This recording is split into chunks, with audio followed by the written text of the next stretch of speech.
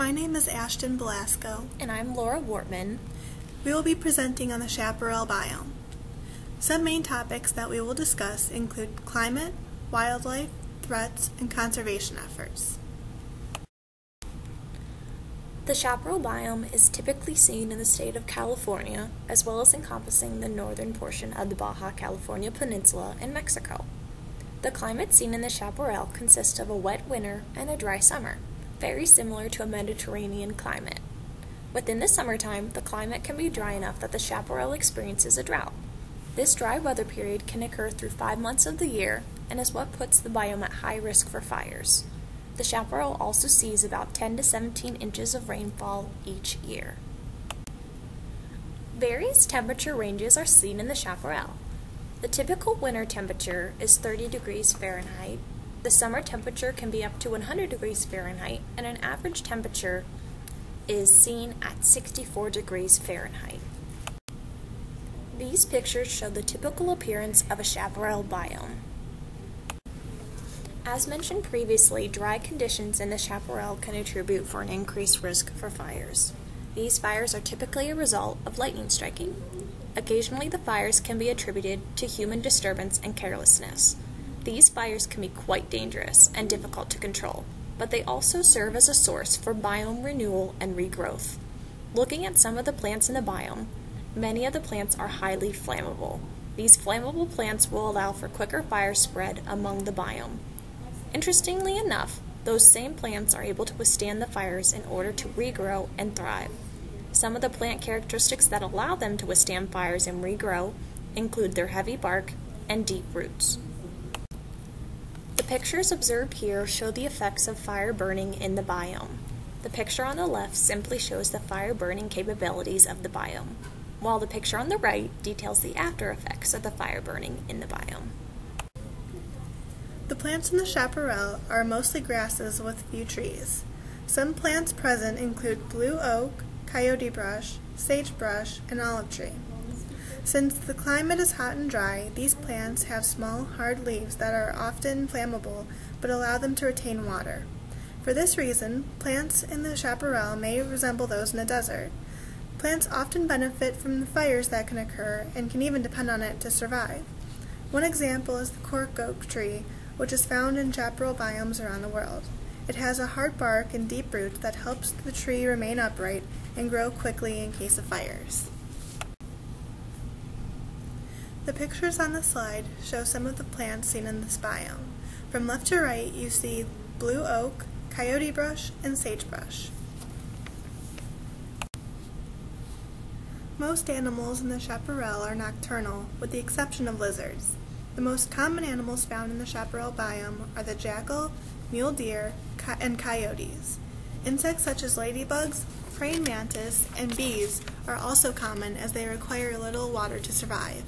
Animals in the chaparral can survive well in the heat, but usually migrate during the winter months.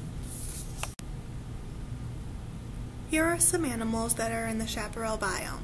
These pictures include a jackal, a mule deer, and a praying Various threats act upon the chaparral biome and can lead to problems. The main threats seen on the chaparral include human encroachment via land development and pollution. Both land development and pollution disrupt the normal cycle of the biome. Another threat to the biome includes fires. While natural fires are seen as a source of renewal and regrowth in the biome, when humans are playing a part in the biomes, they can lead to catastrophic destruction of key wildlife. Another key threat seen is the fact that there simply are not many laws, if any, that are protecting the chaparral biome. Without laws protecting this biome, the protection and restoration of this biome is very difficult to achieve. There are various conservation efforts that strive to help conserve the chaparral biome. The California Chaparral Institute is a nonprofit research and educational organization dedicated to the preservation of the chaparral biome. They have no financial attachments to any financial institution and run on donations. The goals of the California Chaparral Institute are to preserve the chaparral biome, correct common misunderstandings about the biome, encourage the proper use of fire, and to facilitate enforcement of environmental laws that protect the chaparral biome. Another conservation effort includes the Chaparral Lands Conservancy. The mission statement of this organization is to protect shrubland ecosystems as an integral and beautiful feature of California's natural landscape through land preservation and stewardship. This organization was founded in 2009 by David Hogan, an environmental advocate. The five main activities of the Chaparral Lands Conservancy include acquisition of land and management rights, habitat restoration and enhancement, stewardship, research, and education. In regards to acquisition of land and management rights, the organization intends to acquire the rights to manage wildlife, plants, animals, and endangered species in the biome. Looking at habitat restoration and enhancement, the organization will continue implementing projects to help restore biome resources that have been impacted and damaged by land clearing, trash dumping, off road vehicle activity, and invasion of non native animals and plants. The stewardship component in this organization involves the long term process of maintaining biome resources as well as taking part in biome restoration and enhancement. The organization will conduct research on the biome's plants and animals in order to properly maintain, restore, and enhance the biome. Recently, the organization worked with the University of San Diego to determine adequate restoration enhancements that would benefit the various species in the chaparral. This organization strives to educate the surrounding community on the importance of chaparral maintenance and restoration. They also want to generate public interest and engagement in conservation efforts and projects. This organization collaborated with California Trout and a backyard wilderness program to offer education workshops and hands on activities.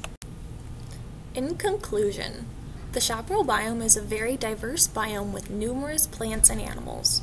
There are many threats that act upon the biome, but it is us as humans that serve as the biggest threat to the structure and survival of this biome. Many conservancy efforts are currently being implemented in order to make sure that this biome continues to thrive, but laws protecting this biome are still non existent to none. These are some of the references used for researching this biome. We hope you enjoy learning about the many unique and interesting aspects of the chaparral.